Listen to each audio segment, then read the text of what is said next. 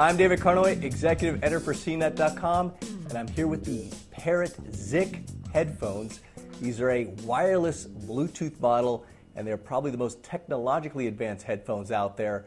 Uh, they're loaded with features. They have everything from noise canceling to touch sensitive controls on the earpiece. Uh, they also have a jawbone sensor as well as a motion sensor so, so that when you take off the headphones, uh, your music pauses. Parrot is a French company, um, and it's better known for its AR drones here in the United States. But it's teamed up with Philippe Starck again to create these headphones, and you can see that they have a very striking design. They seem well built. Um, they have a removable battery in the earpiece, and that cover adheres magnetically. So you just pull that off and you pull out the battery. The battery life is decent, not great. You get about six hours of battery life with everything turned on. Um, you can increase the battery life by turning off some of the features.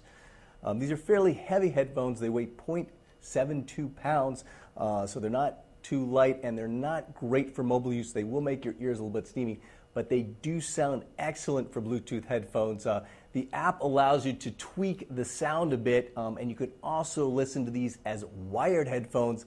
Uh, but I really didn't notice a difference in sound uh, when you use these in wireless mode versus wired mode. There's a lot of digital processing happening in these headphones, so you really probably want to just leave them in wireless mode when you're using them. They have nice, lushly padded ear cups, and they are comfortable wear. I wouldn't say they're super comfortable over a long period of time, but they are comfortable. Quick thing about those touch sensitive controls you simply swipe your finger forward on the headphone to advance tracks. You can also raise and lower volume by simply swiping up and down.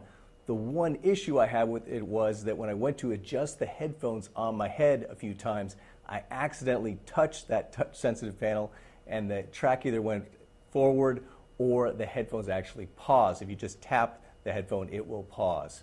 Like other Bluetooth headphones, this can be used as a headset. Um, I didn't think it performed great as a headset, uh, but there's a built in mic here. There are actually several built in mics for the noise cancellation, which is also very good. But all in all, a very interesting headphone, very nicely designed, and it performs very well for a Bluetooth headphone.